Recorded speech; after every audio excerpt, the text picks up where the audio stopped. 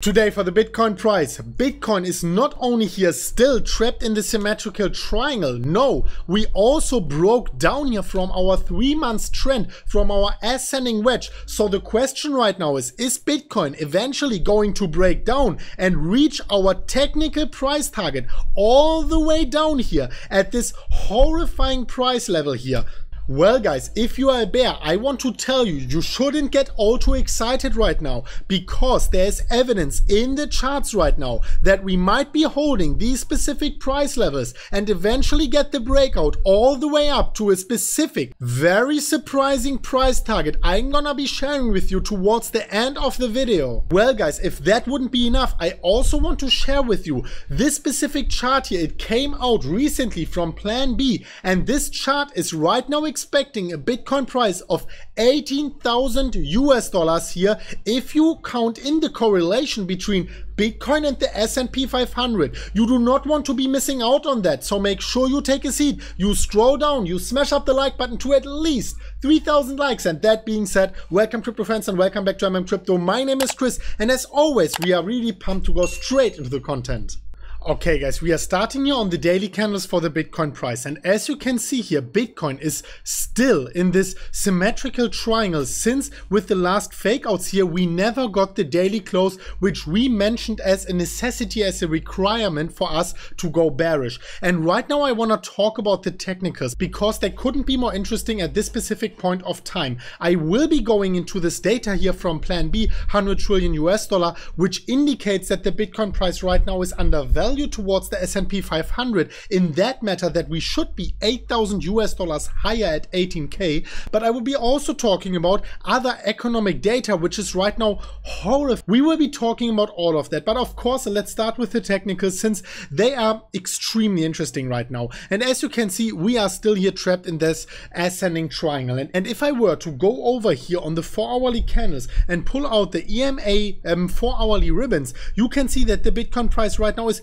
perfectly fighting here once again with the resistance here on the EMA uh, 4 hourly ribbons. And you can see how, um, yeah, they were actually perfectly also providing support during the uptrend and of course resistance here during bearish phases for Bitcoin. And right now you can see we are fighting with it once again. If I were to diminish that and also pull out the VPVR, you can see that Bitcoin is also here right now fighting with the VPVR point of control. So it will be very, very important here to break this level here of yeah 9,470, 9,500 US dollars decisively, especially on a daily candle, because I would say the daily candle is much more important. On the four hourly, we had fake outs to the upside and to the downside, but on the daily candles, you can actually see that the trend is pretty, pretty clear right now. Not only the overall trend here, but also the trend in this symmetrical triangle. And what we can see if we are zooming out a little bit more here on this yeah broadening ascending wedge, which no one seems to be talking about right now. You can see that we also on the daily, we didn't have any fake outs here below or above. Actually, we can see that we had a lot of touch points here, um, yeah, below and above here between support and resistance in that uh, ascending broadening wedge. And what we can actually also see is that recently we broke down here, but of course we are still supported by this yeah, symmetrical triangle. However, guys, if we wouldn't have this symmetrical triangle, which is still holding us here above the resistance, above the support actually, I mean, then the technical target, at least the technical target out of this yeah, ascending broadening wedge would be all the way down here at 3,800 US dollars. And why am I saying that? Well, the most important and the most known um, website here, the patternsite.com from Bulkowski is actually mentioning that our breakdown target here is actually after the breakdown approximately at the low of the ascending broadening wedge. And well, the bad news is that this low here is approximately at, yeah, let's call it the 4,800 US dollar level if we are connecting the can candle bodies, which makes more sense here, especially with this huge wicks and the massive volatility we had back then let's call it a target of 4,800 US dollars. Do I think actually that this is a realistic target? Well, I do not think so, but I want to shed a little bit light on that and I want to tell you what I'm exactly predicting here for the Bitcoin price right now. So first of all, it will be important to hold here within that yeah, symmetrical triangle with a daily candle. In case we are closing a daily candle below, not a four hourly, let me say that once more, a daily candle below the support line here, in case we are closing below, then I would still say, well guys, we might see this yeah, measured move price target of 7,600, 7,700 US dollars here um, yeah, after the breakdown. I think that would be a very realistic price target. However, not the 4,800. It will be very, very important to hold this um, yeah, 8,600 US dollar level because remember guys, since three months, we are in a bull trend. All the bears are right now coming out and saying, well, Bitcoin is here trending sideways and we will break down. Well, we are still in a bull trend. We have consecutively higher lows for Bitcoin. Every single low is a higher low.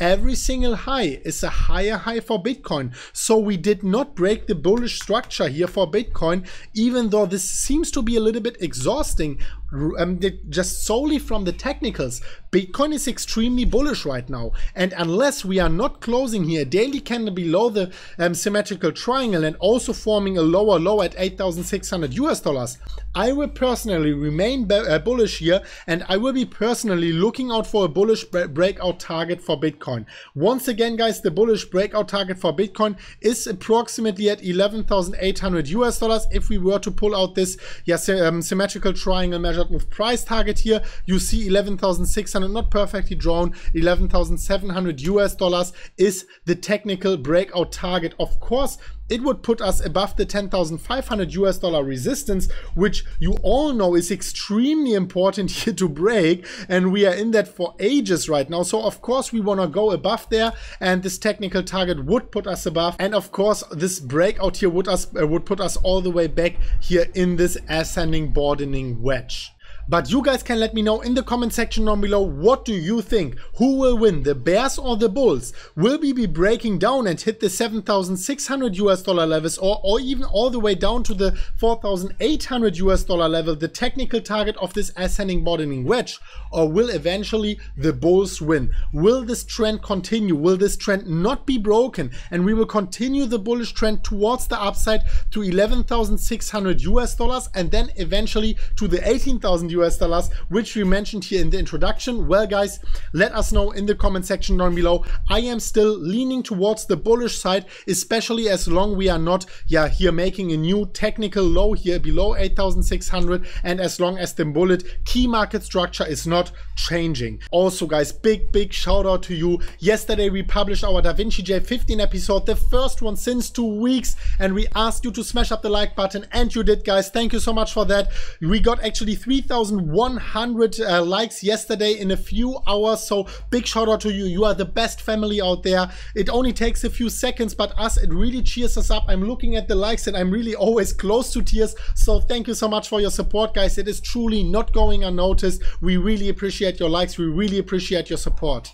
And also, guys, of course, I do want to be talking about here this yeah, S&P 500 Bitcoin um, kind of chart here from Plan B 100 trillion US dollar because you all know everyone is talking about the massive correlation, the positive correlation between the Bitcoin market and also the traditional financial markets. And well, guys, I wanted to doubt that a few months for a few, even a few years back in time, but so far it really seems like Bitcoin is positively correlated and we still have to wait for this decoupling for Bitcoin. Of course, we are hoping for that to come as soon as possible since we all know that the S&P 500 is overvalued right now. However, this specific chart here shows us not only the correlation between Bitcoin and this uh, S&P 500, it also puts Bitcoin into a very specific exponential function because what Plan B actually discovered here, he was playing probably playing around with some numbers and it seems a little bit vague, vague or far-fetched, but I will tell you exactly why this is actually a very interesting experiment.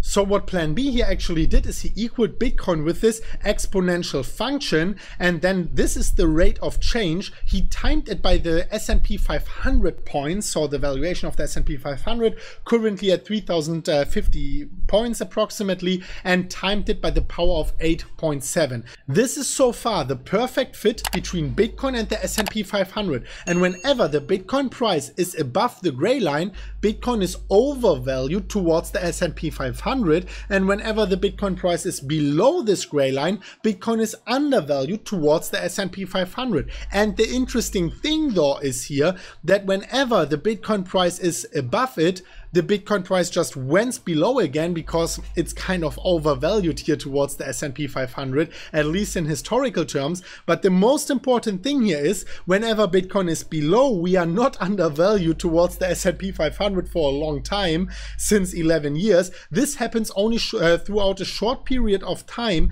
And you can see here, ever uh, always when we are um, undervalued towards the S&P 500, Bitcoin just yeah explodes above and uh, finds a new all-time high. And right now you can see here after the halving we had this breakdown here, the coronavirus breakdown. Bitcoin also broke down, not as much as the S&P 500 in that function here, but you can see right now we are undervalued and at a perfect fit, at a perfect fit of this model, which was so far a perfect fit here, if you take all the numbers into consideration, Bitcoin should be at a perfect valuation compared to the S&P 500, take it with a grain of salt, be approximately at 18,000 US dollars right now. And you all know the deal, guys. We are at 9,500. So of course, take it with a grain of salt, but I think historically this was a very interesting thing to look at. And um, of course, we all know, or at least you should be all in that in the same with the same opinion here, in alignment with my opinion, hopefully, that the S&P 500 right now is overvalued, whereas Bitcoin right now, at least in the long term, is undervalued right now. And I will tell you exactly why I think this is the case. Let's go here to this specific chart, and you can see here the economic activity in blue and the Fe uh, Federal Reserve fiat currency printing in red. And I mean, look at this, and this is the exact reason why the S&P 500 is still pumping ever since we broke down in March. Look at it. The economic activity with the coronavirus just plummeted down. I mean, unprecedentedly, we never had that in the history of the financial markets.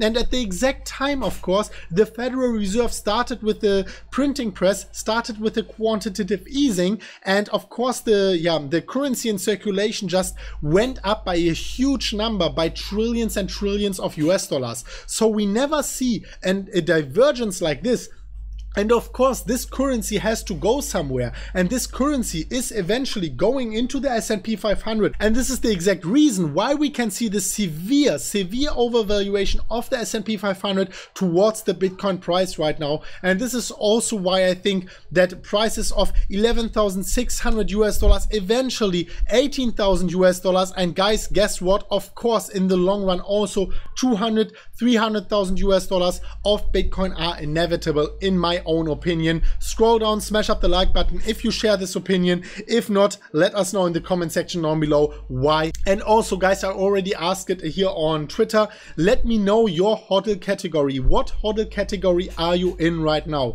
We can see that the humpback whale is at 5,000 Bitcoin. So whenever you are holding more than 5,000 Bitcoin, you are a humpback whale. Whenever you are holding more than 1,000 Bitcoin, you are a whale. More than 500 Bitcoin, a shark. A dolphin is more than 100 Bitcoin. A fish is more than a 50 Bitcoin, an octopus 10 Bitcoin. Someone was saying 8 because of the 8 uh, tentacles they have. But yeah, guys, let me know what uh, in what category you are with a crab. As a crab, you have more than one Bitcoin and you are a shrimp if you are, have less than one Bitcoin. Of course, don't take it as an offensive statement here because even a shrimp will eventually be a millionaire in the future since we all know with the quantitative easing, with the inflation which is eventually going to come, Bitcoin's chances are pretty high to reach millions of US dollars per Bitcoin. So even a shrimp will be a millionaire in the future when it comes to that. Let us know in the comment section down below what group you belong to. And that being said, thank you so much for watching, guys. Thank you so much for supporting us in the affiliate section here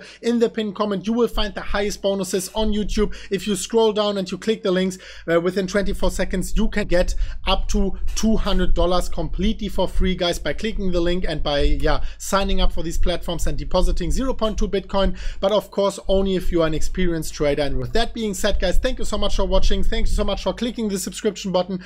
Thank you so much for yeah also clicking the Bybit tutorial, which is popping up right there. And we will see each other very soon at the next one of MM Crypto. And as always, guys, as always, bye bye.